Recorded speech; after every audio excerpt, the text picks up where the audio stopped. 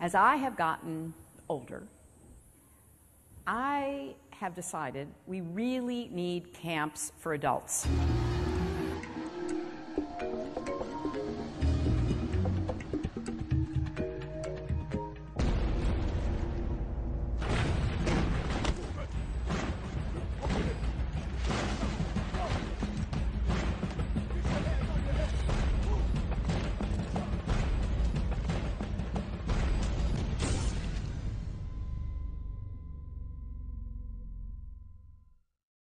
Understand they already have concentration camps in the United States of motherfucking America that they've been building for four years now.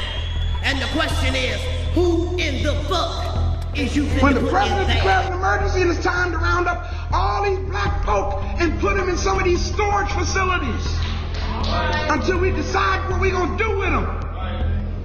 Y'all, why you think they're building all these storage facilities? Ain't got that much stuff to put in storage. Come on, y'all. Think.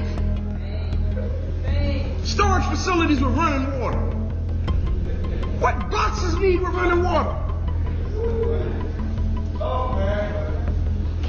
Minority troops divided and detained along with all white Because the violence in the the 60s was a struggle for human dignity and for human rights.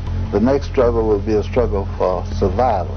And it will not just be limited to black people or black against white, but it will be the poor people, the masses of the people in the country struggling for the right to live, for the right to survive. The neo-Nazi groups in Texas, Louisiana, and Mississippi, along with state militia groups like the Missouri militia, the Michigan militia, the Minnesota militia, all of these white paramilitary groups that have their training grounds out in the woods and stuff that y'all, I'm sure y'all know about that, right? I hope you know about that.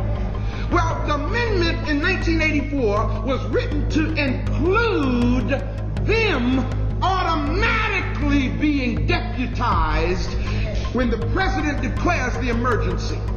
And all of these other groups will be deputized by the federal government to round up blacks and Hispanics for I encampment. decided we really need camps for adults. So, you know, maybe mix it up a little bit.